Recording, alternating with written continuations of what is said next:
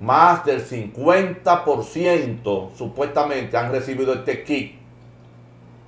Pero nosotros aquí en Santiago no hemos visto ni hemos escuchado a nadie, ningún padre ni madre de familia decirle que lo han llamado de la escuela donde trabaja, donde estudia su hijo o hija para entregarle este famoso kit. Hace unos años que nuestros gobiernos vienen entregando estos kits pero no llegan a los estudiantes que verdaderamente tienen que llegar. Muchos de estos se quedan almacenados en nuestras escuelas públicas y otros se le entregan a quienes sus directores o directora le venga en ganas.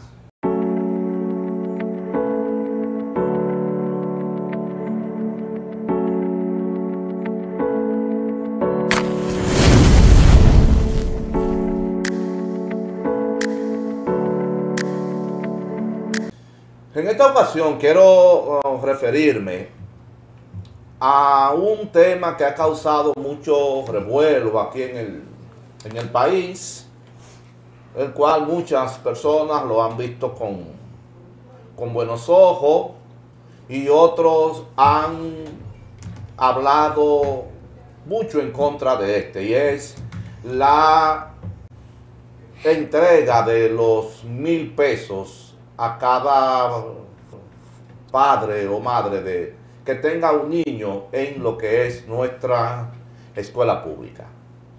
Muchos dicen que es una burla porque mil pesos no le van a, a dar a una, a una familia para comprar los útiles escolares de sus hijos.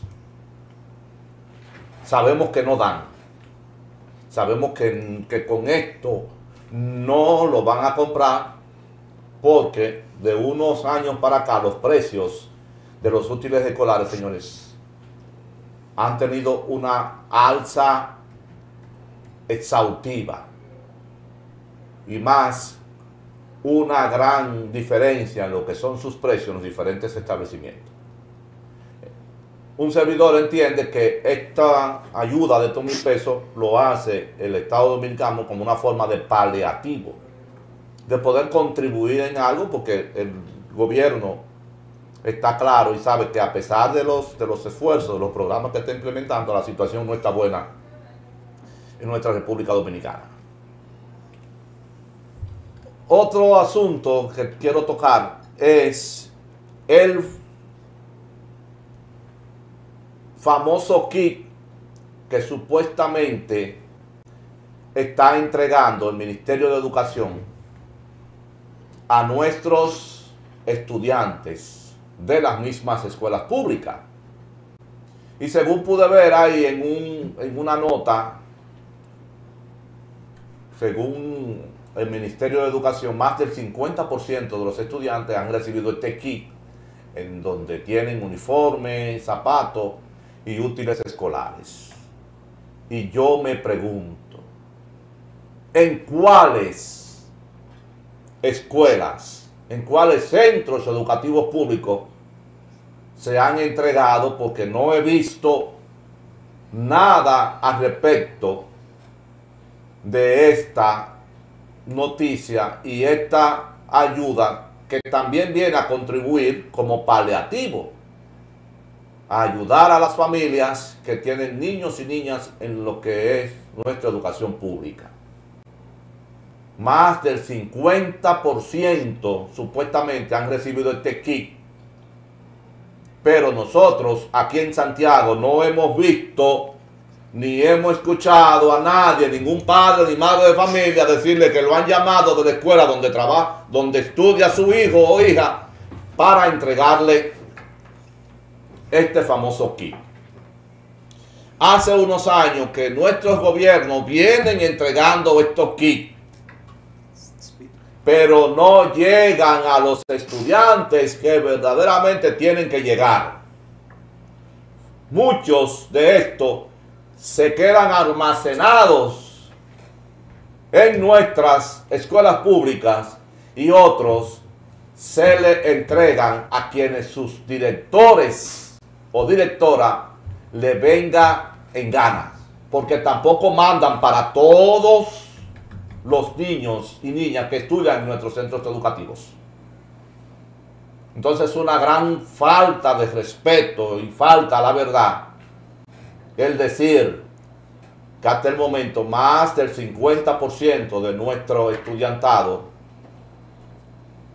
ha recibido este que repito, contiene uniformes, zapatos y útiles escolares, cuando acá en Santiago tenemos una gran población estudiantil nuestro sector público y todavía nosotros que andamos en el medio, que nos llegan informaciones, no nos hemos enterado todavía de que a, a nadie acá se le haya entregado. Al ministerio, al ministro de Educación, el cual que le pida por favor a sus asesores o a las personas encargadas de esta distribución que no le hagan mentira.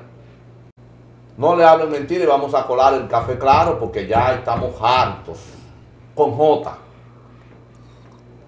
De que se limiten unos recursos para programas de ayuda, pero que esas ayudas nunca lleguen a sus destinatarios porque se desvían por otros lados.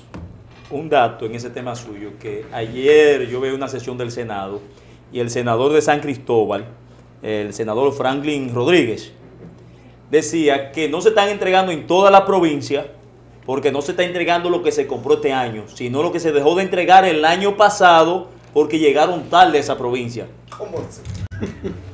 ¿Cómo así? Llegaron tarde y no lo entregaron. No lo entregaron. Entonces lo están entregando ahora supuestamente antes de tiempo, pero fue porque nos entregaron el año pasado. O sea, que no del presupuesto de este año. Ah, el presupuesto pasado. Sí, porque estaban Para que no me lo pongan en este presupuesto. ¿eh? No, no él, no, él se lo dijo y le mandó una, una, una, una carta al ministro de Educación, porque en San Cristóbal llegaron, pero que ya él tenía los datos de antes. Y lo dijo públicamente en la última sesión del Senado. Fue, ese fue el aporte que quería hacerle. Tú sabes que Miyagi va a arreglar la vaina de educación. Pero no le falta respeto. ¿Qué le va a dañar como ¿Cómo Miyagi? No, no. Miyagi va a. Ah, porque ahí está. cera. Quita cera. Mira, ahí está. Él,